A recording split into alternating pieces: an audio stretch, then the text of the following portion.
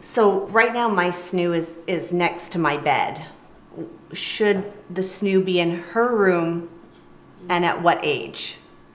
The reason doctors recommend that the baby's bed be next to your bed is twofold. Number one, if you're nursing, it's so much easier than going down the hall and doing that.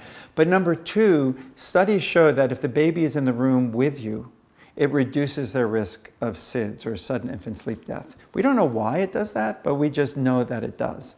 And so the first six months of life, is when 90% of infant sleep death occurs. And so that's why we say, at least for the first six months, to have the baby in the bed, eh, five months, six months, something like that, gets them past that period of risk.